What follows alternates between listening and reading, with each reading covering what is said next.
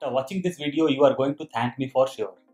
Car or motor insurance, life insurance, medical insurance, rent agreement, and there are many more things on which we have to keep proper track. Otherwise, if the dates are missed, we'll end up paying heavy penalty, which we really don't want. In case you forgot the birthday of your girlfriend or your wife or your anniversary date, no one knows what's going to happen with you. In this case, Excel is going to track all our days and dates and will keep on calculating it on regular basis. The only thing what we will have to do, open the sheet once a month and check the highlighted dates and days. Hi, my name is Vijay and you are watching Office Monk. Let's start the video without any delays. This is a regular follow-up sheet which I have created in advance. There are few things like details of your policies, policy dates, renewal dates, days. Days will be automatically changed whenever the renewal date will change. Premium amount, grace period in days, few policies like Mediclaim gives a grace period of 15 or 30 days. Days pending, this will be automatically calculated. Days pending with grace period, days pending without Saturday, Sunday and with grace period. If the policy renewal date will be on Saturday or Sunday, 2 days will be subtracted from this. Over here status, if days will be more than 30 it will be showing done and if the days will be less than 30 it will be showing pending. We will change some days.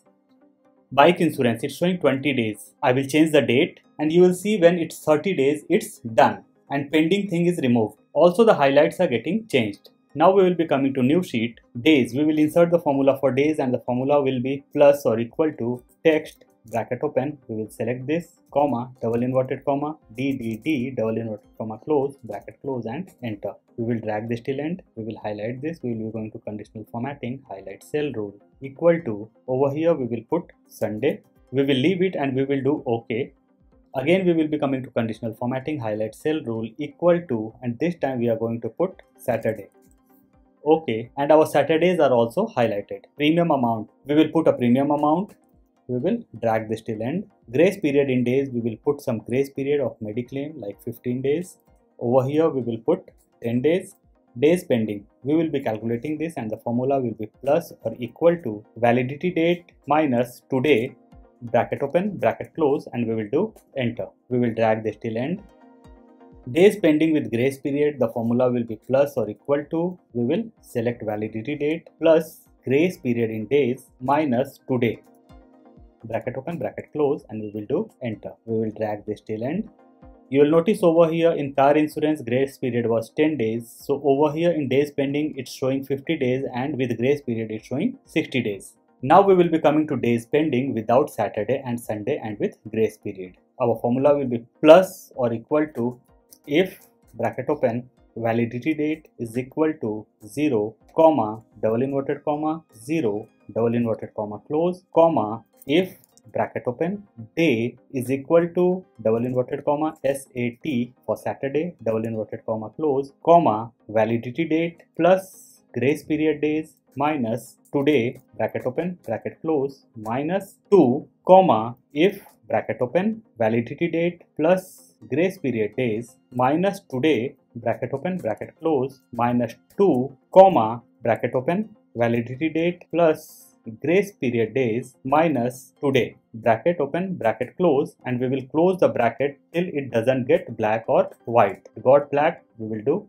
enter. Now we will drag this till end in life insurance pending days are 42 and over here it's showing 40 only because of our formula. We will be coming to status and the formula for status will be plus or equal to if bracket open validity date is equal to 0 comma double inverted comma 0 double inverted comma close comma if bracket open days pending will be more than or equal to 30 comma double inverted comma done double inverted comma close comma if bracket open days pending will be less than or equal to 30 comma double inverted comma pending. Double inverted comma close bracket close. And we will close the bracket till it doesn't get black or white. Enter. So our status is done. We will drag this till end. Now we will be going to conditional formatting highlight cell rule equal to and we will put pending over here we will leave it as red because we want our pending days to be highlighted in red.